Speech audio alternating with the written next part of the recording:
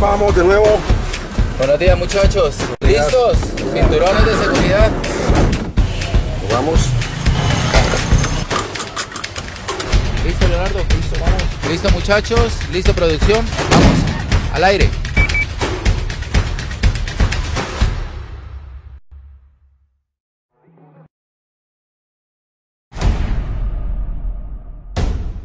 Vamos de nuevo.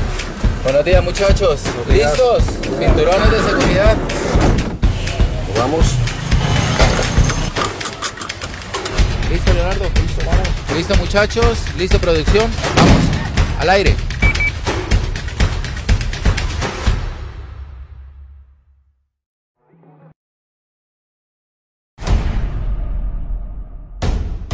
Vamos de nuevo.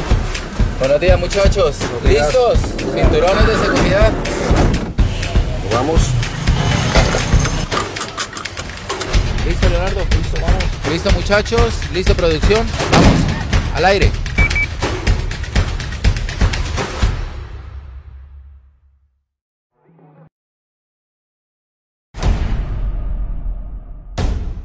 Vamos de nuevo. Buenos días muchachos. días. ¿Listos? Cinturones de seguridad. Vamos. ¿Listo Leonardo? Listo, vamos. ¿Listo muchachos? ¿Listo producción? Vamos. Al aire.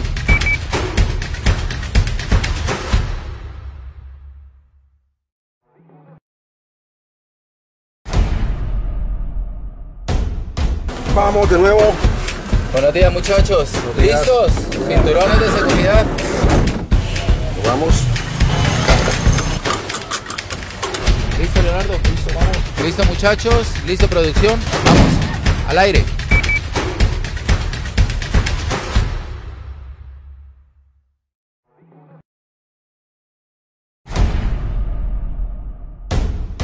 Vamos de nuevo.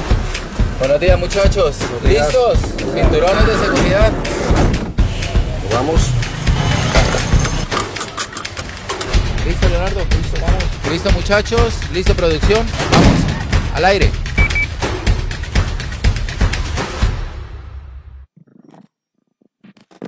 Señoras y señores, amigos de la frontera en San José de Cúcuta, el área metropolitana del departamento norte de Santander. Buenos días para todos, bienvenidos a Cero Censura. Hoy es miércoles 12 de mayo del año 2021. Estamos en vivo y en directo en la calle 13 con todas las noticias, con toda la información en tiempo real. ¿Cómo amanece la frontera hoy en Jornada Nacional de Protestas?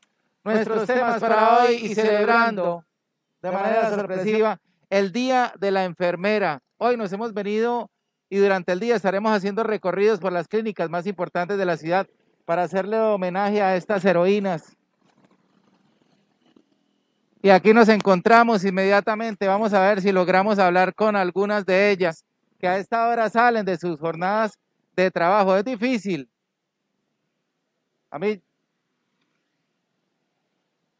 en vivo con las enfermeras de la ciudad de Cúcuta, un acto simbólico que queremos hacer a esta hora de la mañana, cuando empiezan a salir algunas de ellas, estamos ubicadas enfrente de la clínica San José, esperando estas heroínas que en tiempos de pandemia han salvado cientos de vidas en todo el territorio nacional. Hoy, Día de la Enfermera, en este homenaje de TV Cúcuta, repito, a una de las más destacadas heroínas en época de pandemia en el planeta entero. En vivo y en directo, TV Cúcuta, desde la clínica San José. También estaremos en la clínica Medical Duarte, una de las más importantes del oriente colombiano. Señoras y señores, adelantos, temas para hoy en cero censura de TV Cúcuta.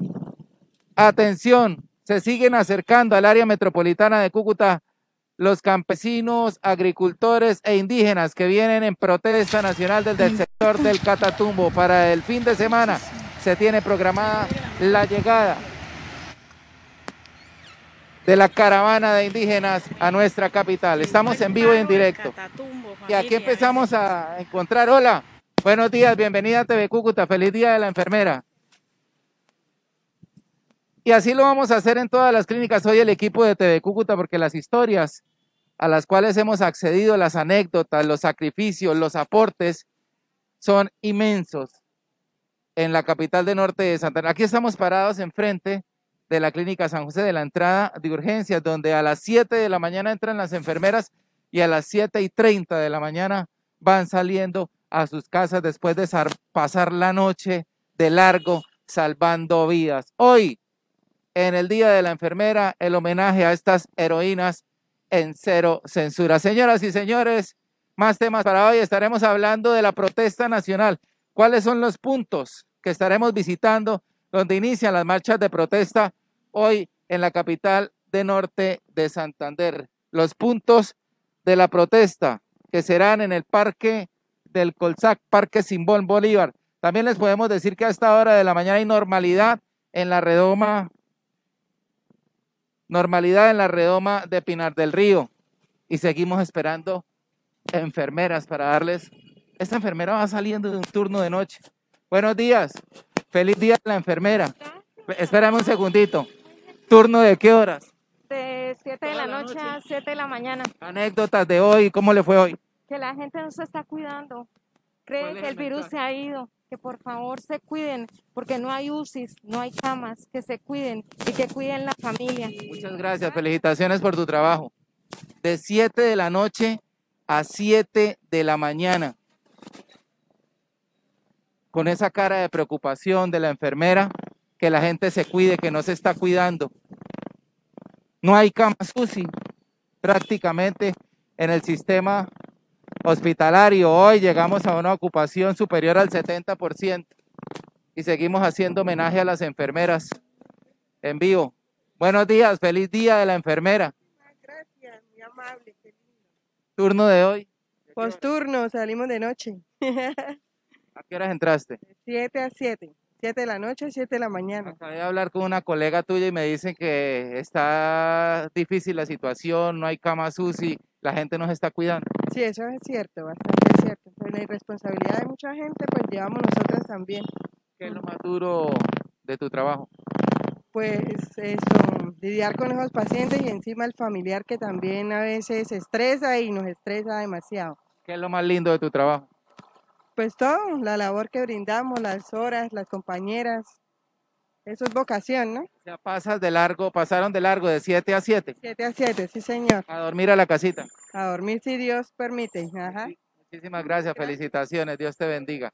Las enfermeras de Cúcuta, una lista grande de heroínas a las cuales hoy les queremos dar muchas sorpresas en TV Cúcuta y a partir de la mañana de hoy estaremos visitando todas las clínicas para decirles que muchas gracias, que gracias por el sacrificio, que gracias por salvar tantas vidas y que nos disculpen a veces como familiares en nuestra desesperación, con, malos tratos y también alguna vez con grosería. Nos vamos a mover a esta hora de la mañana cuando estamos en vivo en el Transmóvil de TV Cúcuta a iniciar el recorrido hoy. Y en cosas curiosas, estamos a tan solo unos metros de la segunda este con calle 13. Este sector donde se presentó un increíble suceso donde casi queda degollado un peatón por la irresponsabilidad y las fallas de logística de las empresas prestadoras del servicio de televisión por cable o servicios de telecomunicaciones. ¿Y quién debe velar porque esos cableados de los postes en Cúcuta cumplan con las normas?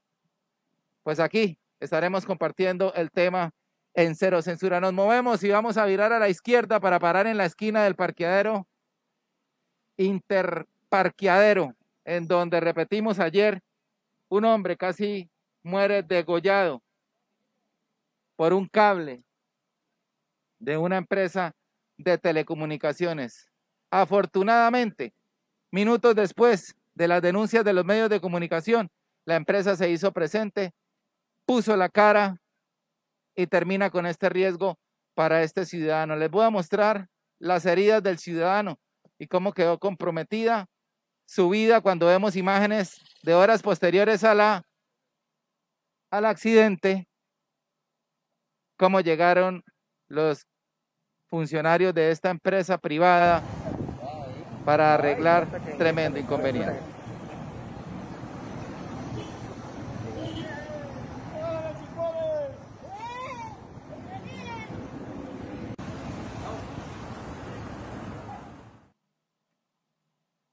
Y es que las marcas en su cuello nos muestran la gravedad en que pudo convertirse este accidente. En esta a la izquierda y paramos en la esquina.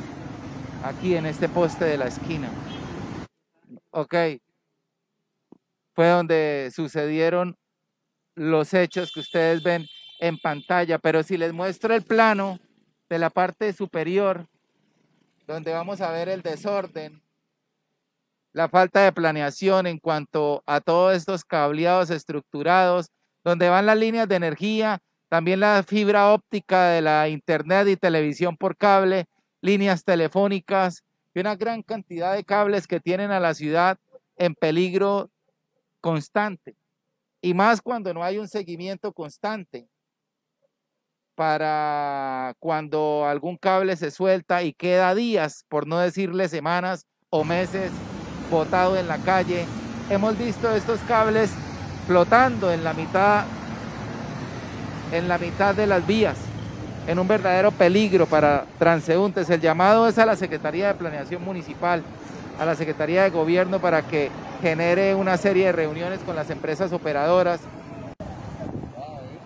y les exija la seguridad para conductores y peatones. Nos movemos rumbo al Parque Simón Bolívar, donde hoy es uno de los puntos de inicio de la jornada de protesta nacional que ya supera hoy los 14 días. Y de eso vamos a hablar, porque el 28 de abril inició esta protesta de indignación nacional con el tema de la reforma tributaria. El pueblo venció al gobierno, quien tuvo que retirar la iniciativa del Congreso de la República pero empezaron a, aparecer o a reaparecer la cantidad de injusticias sociales en el país y se volvió una bola de nieve. Protestaron los arroceros que ya conjuraron la protesta con la presencia del ministro de Agricultura. Los transportadores están en pie de lucha en este momento con las vías bloqueadas, sobre todo la vía que comunica a Cúcuta con el Catatumbo, con el municipio del Zulia. Y siguen las y siguen apareciendo más. Estamos rodando por la calle 11, este es el panorama de este importante sector de la ciudad. Vamos hacia el Parque Simón Bolívar. En vivo y en directo, TV Cúcuta, con toda la información, con todas las noticias con las que amanece la zona de frontera. Señoras y señores, los puntos de la protesta hoy, atención conductores, atención. Parque Simón Bolívar a las 8 de la mañana arranca la movilización que tomará la avenida Gran Colombia, calle 10, para llegar al Parque Santander. También a las 8 de la mañana en Redoma del Pinal del Río, donde les podemos confirmar a esta hora que hay normalidad, hay movilidad, y ahí arrancaría una caravana de vehículos que desde las 7 de la mañana pues no se ha presentado ninguna alteración y no hay mucho vehículo en esa zona a esta hora cuando empieza a llover en la capital de norte de Santander. También el otro punto de encuentro donde estará TV Cúcuta es en el Hospital Universitario Erasmo Meos, donde convocaron motociclistas y ciclistas para que inicien caravana por la avenida Guaymará, la avenida Gran Colombia y todos estos tres puntos de protesta se van a terminar concentrando en el Parque Santander. En vivo y en directo, así se mueve la ciudad. Estamos pasando por el frente del Banco de la República para internarnos en el barrio La Riviera, conectar con el barrio Colsac y llegar al Parque Simón Bolívar, el Parque del Colsac, siempre tradicional sitio de concentración para el inicio de la protesta social, esta vez de docentes y de sindicatos afiliados al sector de la educación y de la salud. Estamos en vivo y en directo en esta jornada de protestas, mostrándole hasta ahora en las vías, como ustedes lo han visto, normalidad, afortunadamente, en estos sectores de la ciudad que estamos recorriendo para ustedes, pero se viene complicando la protesta social porque ya Próximamente llegan, aquí hay una reunión de policías cerca al Palacio de Justicia. Hay un grupo como de 15 policías cerca al Banco de la República y lo mismo, policías que acaban de terminar formación aquí frente al Palacio de Justicia de la ciudad de Cúcuta. Estamos en vivo y en directo a través de TV Cúcuta. Buenos días. ¿Alguna alteración o todo normal, la gente? Ok, muchísimas gracias están en formación, prestando eh, a guardia creemos alrededor del búnker de la Fiscalía de Cúcuta y también del Palacio de Justicia. Vamos a mostrarles a ustedes cómo se mueve la avenida Gran Colombia, que en unos minutos, atención conductores, en unos minutos, aproximadamente en una hora, estaría bloqueada por el paso de los manifestantes eh, que van por toda la avenida Gran Colombia, desde el Parque Simón Bolívar hasta la calle 10, hasta la avenida 0 con calle 10 para tomar la entrada al centro de Cúcuta con destino final en el Parque Santander. Estamos en vivo y en directo en esta jornada 14 de protestas. ¿Por qué les hablo del día 14? Recuerdan ustedes siempre, los médicos cuando dicen si usted se va a meter a cuarentena dure 14 días, que es el periodo de incubación del virus de la COVID-19. Señoras y señores, de eso les tengo que hablar hoy. Lastimosamente en jornada de protesta llega la cifra del día a TV Cúcuta.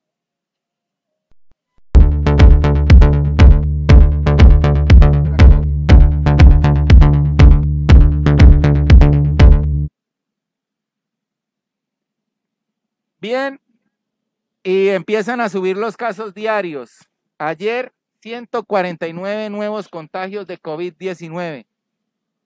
Ayer, tres muertos en norte de Santander y ya llegamos al 70% de ocupación de camas UCI.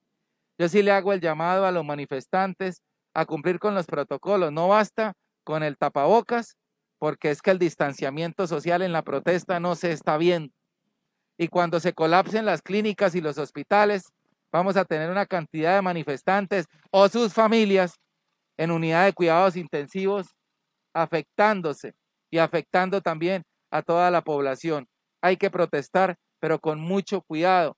O es mejor hacerlo con otras iniciativas que no ofrezcan riesgos de contagio, porque una marcha es sinónimo de aglomeración y eso no lo podemos discutir.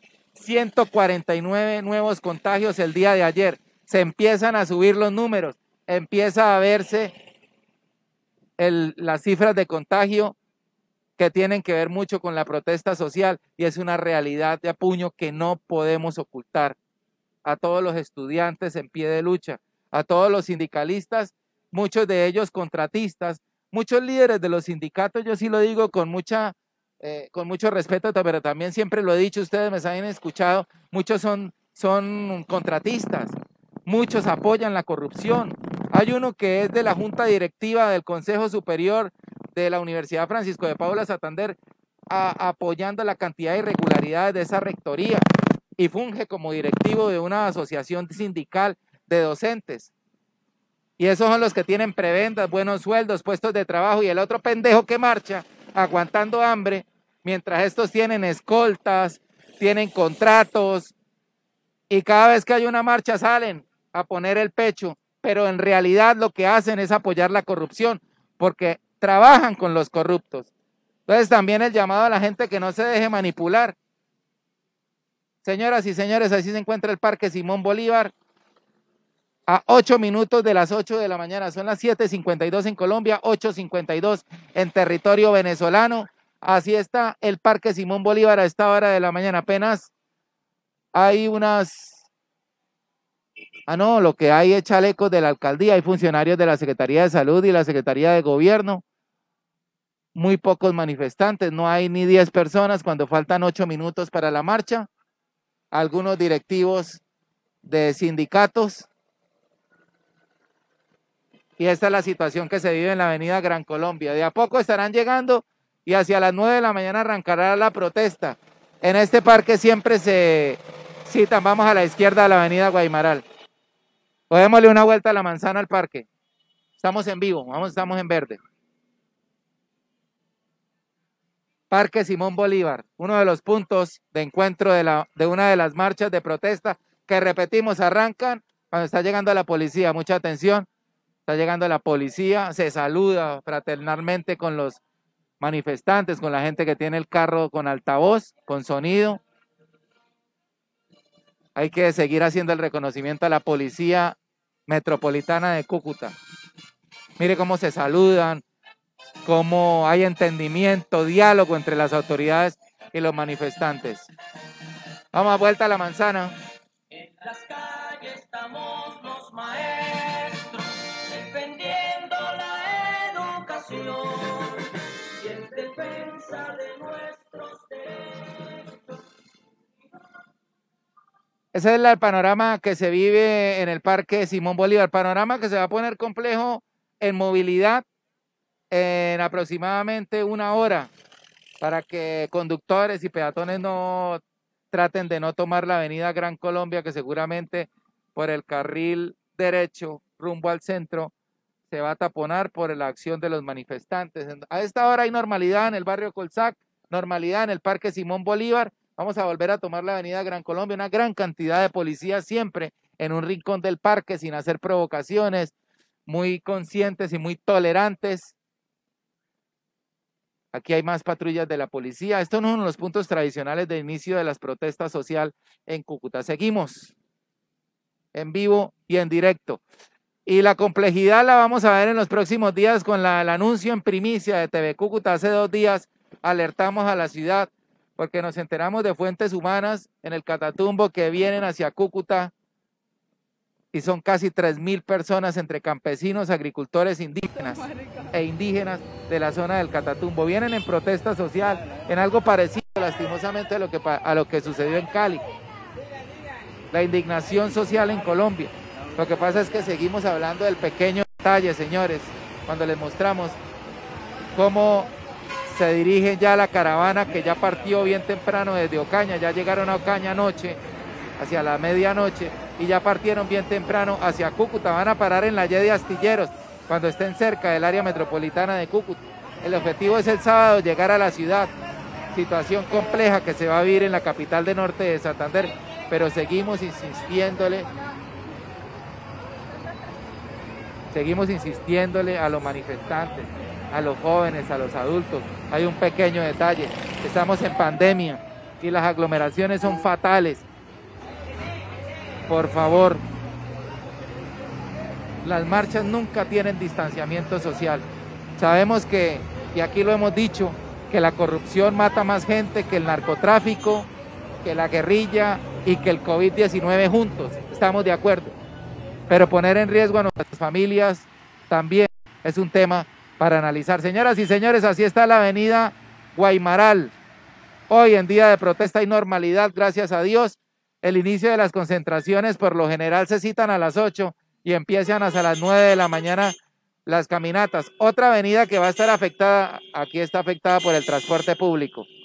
En este paradero que se da en la esquina de la avenida Guaymaral con avenida Gran Colombia. Miren esa buceta de dónde es.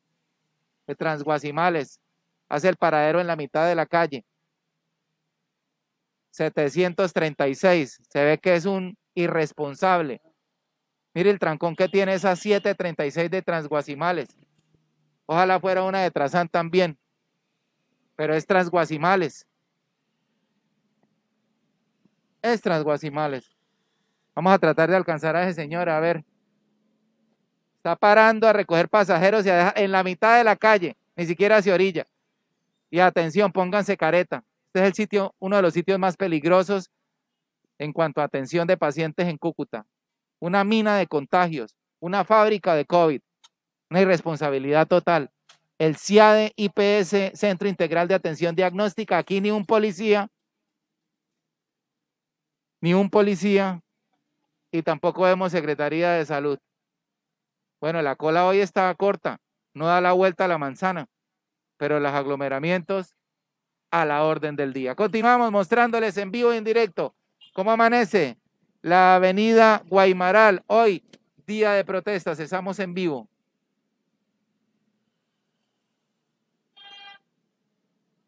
Estamos rodando sobre el barrio Quinta Oriental. Recuerden ustedes la programación de los campesinos indígenas del Catatumbo para llegar a Cúcuta al casco urbano es para el día sábado, día que va a ser complejo en nuestra capital lastimosamente. Seguimos en vivo y en directo tomando las noticias, la información para toda la zona de frontera. Alerta, alerta Villa del Rosario. Llevamos más de cinco meses alertando a la comunidad de Villa del Rosario, alertando a los entes de control por el sospechoso y oscuro, la sospechosa y oscura concesión de alumbrado público de Villa del Rosario, que se la ganó el Turco Ilzaca, el mismo que se ganó hace años de manera sospechosa la concesión de tránsito en Villa del Rosario. Estas imágenes que les voy a mostrar es un, un derecho de petición que enviamos vía mail por pandemia a la alcaldía de Villa del Rosario, derecho de petición que, que no han contestado. Ya vamos con el pantallazo del mail. Aquí le pedimos al señor alcalde Eugenio Rangel, en este derecho de petición de Villa del Rosario, que lo que están haciendo allá es aberrante. Lo que están haciendo en Villa del Rosario con el alumbrado público es aberrante. Usted, señor alcalde, Eugenio Rangel, tendrá que responderle a la justicia. Le estamos pidiendo en derecho de petición, firmado el 26 de febrero. Es la fecha y no han respondido. Hay que poner una tutela, pero mire lo que le estamos pidiendo. ¿En qué situación y qué retiros se han hecho de la cuenta Fondo Común Fideicomiso del Alumbrado Público Villa del Rosario, fiduciaria Corficolombiana? Solicitud de información financiera y movimiento. Recuerdan que hemos denunciado que se habrían perdido más de 4 mil millones de pesos en diciembre pasado de la fiduciaria del alumbrado público del municipio de Villa del Rosario. También le pedimos informes sobre la documentación y actos realizados en el proceso de liquidación de la concesión de alumbrado público de Villa del Rosario anunciado en el mes de noviembre del año pasado. Tampoco han respondido. Pero en este derecho de petición, como fue en febrero, no le hemos pedido las copias del proceso de licitación que se ganó. ¡Oh! Tan raro. Se presentó uno solo y ese fue el que ganó porque no hay más empresas en Colombia. Tan raro. Ganó la empresa del Turco Ilzaca. Lo que está haciendo usted, Eugenio Rangel, con el municipio de Villa es aberrante. Es aberrante. Y eso no es cuestión de trago, eso es cuestión de principios. Atención, otro punto de la protesta. Vamos a bajar a urgencias del Hospital Universitario Erasmo Meos. Estamos en vivo y en directo a través de Cero Censura de TV Cúcuta con todas las noticias, con toda la información. Hoy, celebrando el Día de la Enfermera. Estaremos pasando, repetimos, por todas las clínicas, por las más importantes de nuestra ciudad para hacerle homenaje a estas heroínas. Estamos en vivo, 8 de la mañana, un minuto. ¿Cómo va a estar el clima hoy en las marchas? ¿Cómo va a estar el clima hoy en la ciudad de Cúcuta a propósito de las marchas? Pues estamos en Infoclima de TV Cúcuta.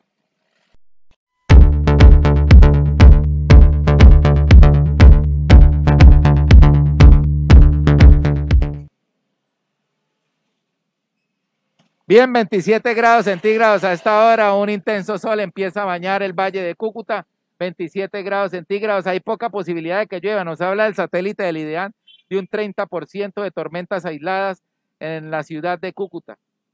Eh, la temperatura máxima 32 grados centígrados y la vamos a sentir a la una de la tarde. La temperatura mínima 22 grados centígrados hacia las 12 de la noche. Señoras y señores, con una bandera blanca amanece la entrada de urgencias del Hospital Universitario Erasmo Meos. Por aquí vamos a dar la U para tomar la avenida Guaymaral de nuevo y mostrar la entrada principal. Este es uno de los puntos de inicio de la marcha de hoy. Aquí fueron citados motociclistas y ciclistas a las 8 de la mañana, pero en este momento no hay absolutamente nadie. Vamos a mostrarles, hay una patrulla de la Policía Metropolitana. Así se mueve a esta hora de la mañana la entrada de urgencias del hospital. Recuerden que solo hay el 30% de posibilidades que lluevan hoy, algunas tormentas aisladas o lluvias dispersas y la gran posibilidad de lloviznas hoy se dará hacia las 3 de la tarde. Así está, con esta bandera blanca, la entrada de urgencias del Hospital Universitario Erasmo Meos. Estamos en vivo y en directo a través de Cero Censura. Vamos a la entrada principal. Hay normalidad para usuarios, para pacientes, para familiares, para conductores en esta avenida adyacente a la avenida Guaymaral, la entrada de las urgencias del Hospital Universitario Erasmo Meo. La información en tiempo real les podemos compartir a esta hora de la mañana a toda la zona de frontera en esta fecha, jornada de protesta nacional en donde Cúcuta registra a esta hora, 8 de la mañana, 3 minutos, total normalidad en cuanto al orden público y la movilidad de todas las vías de la ciudad de Cúcuta. Ya vamos a hablar de las conexiones viales a diferentes ciudades de Colombia. porque hay afectaciones en movilidad. Señoras y señores, noticias, más información para toda la comunidad. ¿Qué opina usted de la protesta social, de las marchas, de los manifestantes en pandemia? Un tema para analizar, porque seguimos insistiendo en ese pequeño detalle, la pandemia. Hoy, celebrando el Día de la Enfermera. No vamos a desaprovechar la oportunidad para hacerle homenaje, repetimos, a estas heroínas, pero también homenajes merecidos a personajes que hacen grande esta región. En esta ocasión, un bogotano es el personaje del día hoy en TV Cúcuta.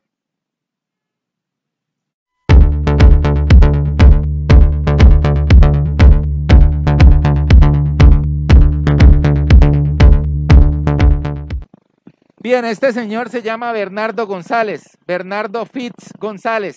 Es bogotano, está radicado en los Estados Unidos y de manera acertada, los directivos de Motilones del Norte lo trajeron como técnico del equipo profesional de baloncesto que en este momento es la sensación del baloncesto colombiano profesional que ustedes han podido observar a través de la cadena nacional de deportes Win Sports. Pues bien, Bernardo González acaba de ser elegido como el entrenador de la semana es considerado el mejor técnico del momento en el baloncesto colombiano. Ha sido considerado por la liga y por los aficionados el mejor técnico de esta semana. Estamos llegando a la puerta principal del hospital. Ya hay algunos carteles. Ya hay algunos movimientos. Acá están algunos colegas de la prensa. Estamos en vivo. Allá hay una enfermera, vamos a regalarle una rosa.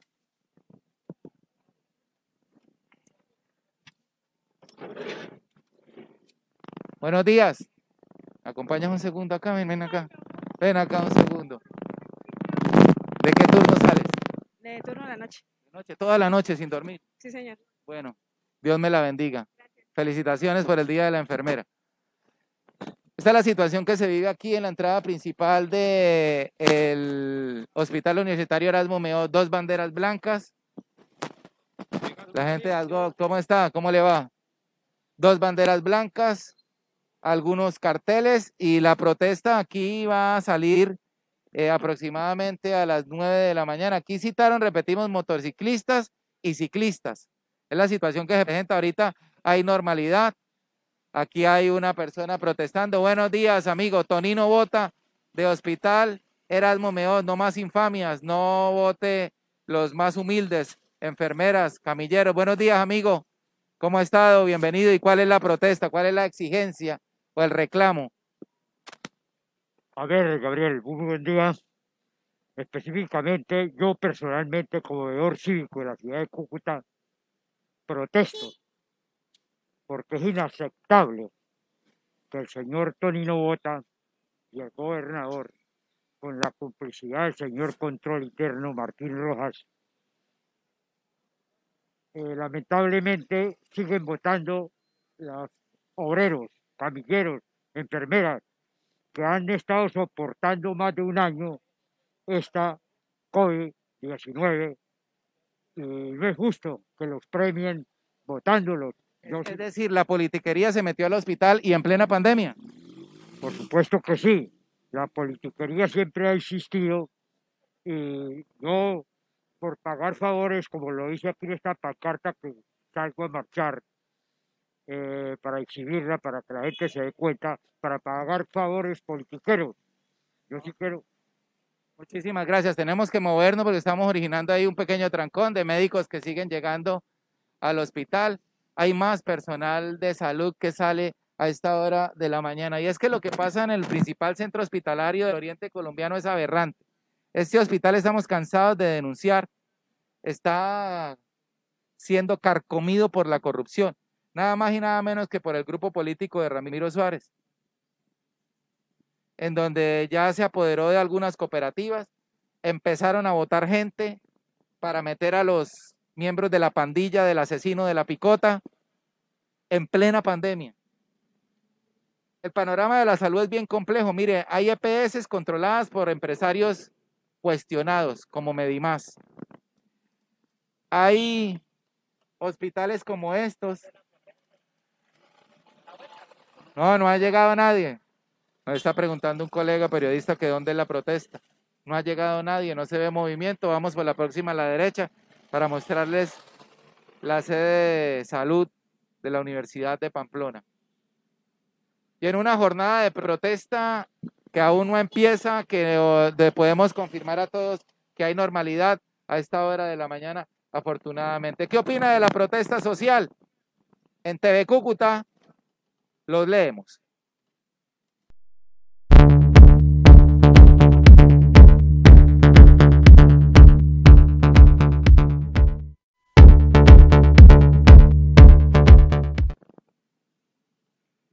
Bueno, saludos a nuestros televidentes. Nos estamos moviendo por la antigua sección de urgencias del antiguo Seguro Social. Nosotros en vivo recorriendo las calles de la frontera, mostrándoles que hay normalidad en Cúcuta, afortunadamente, en estas jornadas de protesta, que ya empiezan las concentraciones. Y seguimos saludando a todos los conductores que están pendientes y preguntándonos cómo está la movilidad de Cúcuta. Se lo contamos. Saludo cordial a Edgar Galvis, Iván Mejía, gracias. Total, se dejan manipular, dice Iván Mejía, Edgar Galvis. Las violaciones del código de Nuremberg son las siguientes. Consentimiento voluntario, dice. Se me fue el texto aquí de un texto largo por demás. Edgar Galvis. No se debe obligar a ninguna persona a realizar un experimento médico sin el consentimiento informado. No produce resultados fructíferos que no se pueden obtener por otros medios. Bueno, no le entiendo a don Edgar este mensaje que nos cuenta del código de Nuremberg. Joseba Rodríguez, viva el paro nacional. Betty Barra, buenos días, Gabriel, gracias por toda su información. Si no se está de acuerdo y a gusto, hay que protestar. Pero este mal es la violencia. Pero está mal, es la violencia, el saqueo y el vandalismo. Ya Cúcuta, norte de Santander y Colombia están cansados de la corrupción, sea del partido que sea. Saludos también a Dioselina Parada, que se encuentra conectada con nosotros y la gran cantidad de personas que nos siguen todas las mañanas en vivo a través de Cero Censura. Los estaremos leyendo porque ya llegaron las teledenuncias. Recuerden las líneas de contacto. Puedes enviarnos su denuncia a través de todos nuestros inbox de Facebook. Nos pueden escribir por Instagram, también al correo electrónico tvcucutacom.gmail.com. También nos pueden escribir las teledenuncias a los números que están en pantalla, porque llegaron las teledenuncias a cero censura.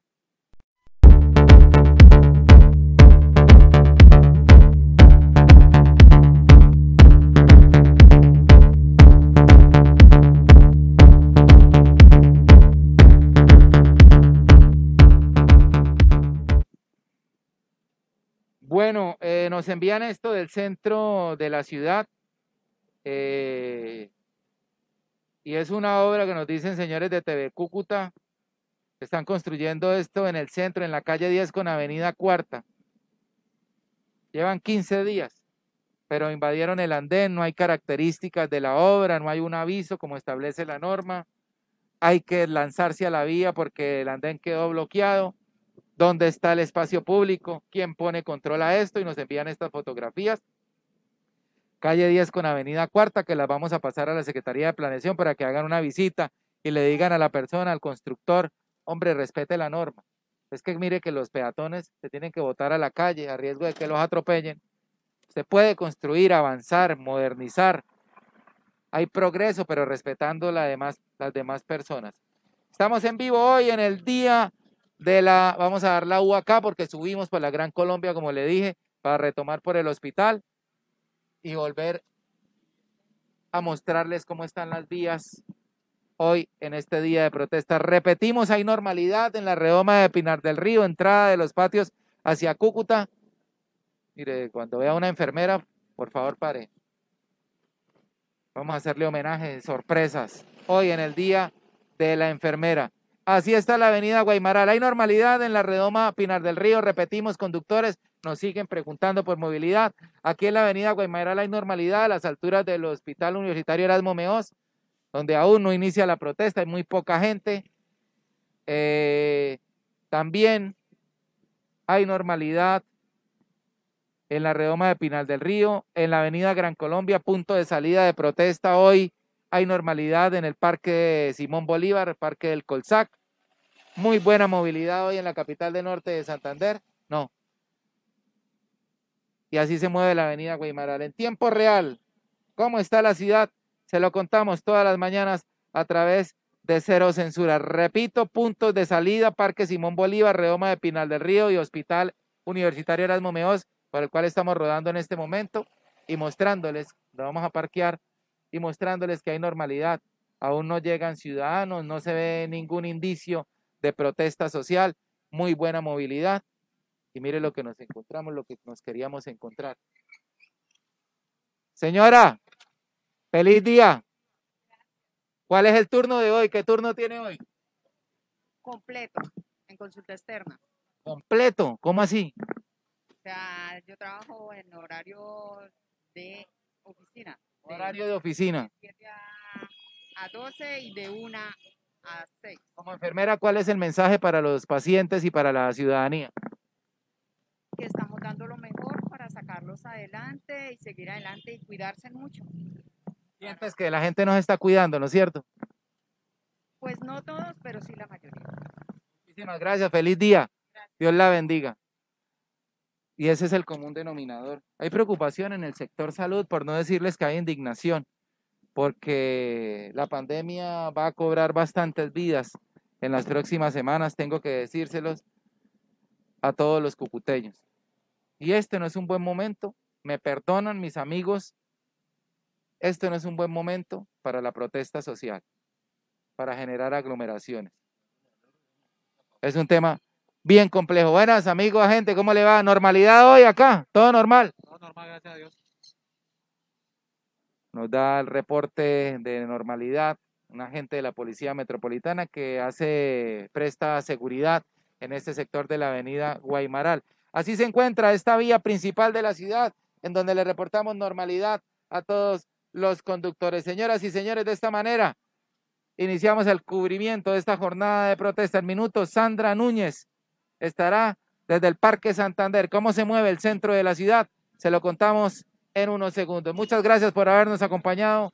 Mañana les tendremos en primicia cómo se adelantan las reuniones y la próxima reunión que va a haber el próximo 14. El viernes habrá una trascendental reunión en el municipio de Villa del Rosario, no les puedo decir en dónde, entre empresarios e industriales tachirenses, empresarios e industriales norte santanderianos, para seguir avanzando en el tema de la reapertura de los puentes internacionales, la reapertura de la frontera. Para el tema comercial sería con la presencia, escúchenlo bien, con la presencia del gerente de fronteras de la presidencia de la República de Colombia. Ya se está viendo la voluntad de los dos gobiernos de poder abrir la frontera. Se los dijimos en primicia hace más de mes y medio porque ya han habido reuniones.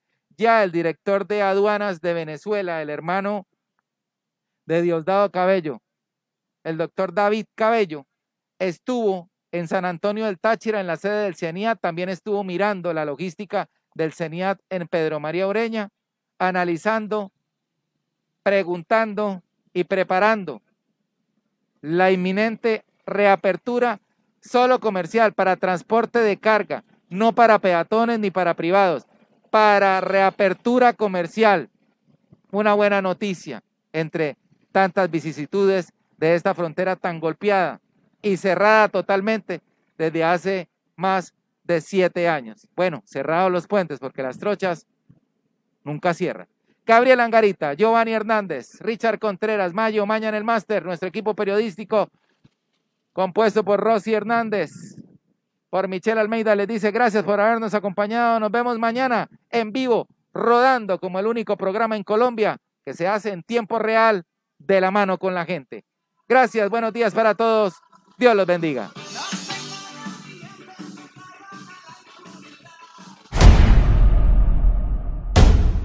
Vamos de nuevo. Buenos días muchachos. días. ¿Listos? Cinturones de seguridad. Vamos. ¿Listo Leonardo? Listo, vamos. Listo muchachos. Listo producción. Vamos. Al aire.